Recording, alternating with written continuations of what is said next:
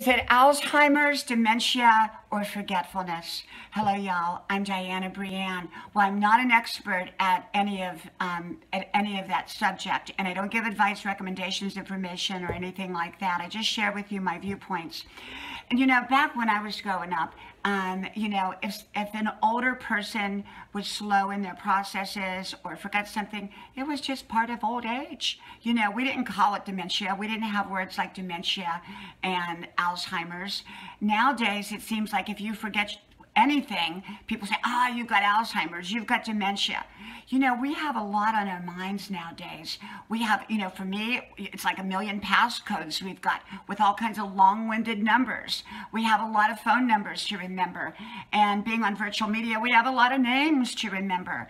There's a lot to remember nowadays that maybe in grandma's days they didn't have to remember. And as we do age, just like with anything else, things can become a little slower. And yet that doesn't mean that we're not all there.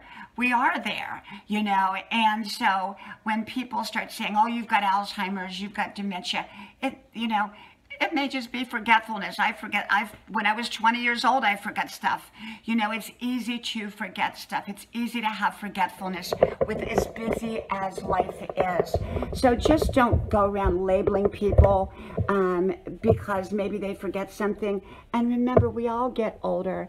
And, you know, um, we walk a little slower. We may think a little slower but we're all there. From my house to yours, may God bless you. I hope you like, share, subscribe to all five channels. Links are pinned to the top of the comment section below. If you connect with me, I will likely connect back with you as well. May God bless you. Bye-bye.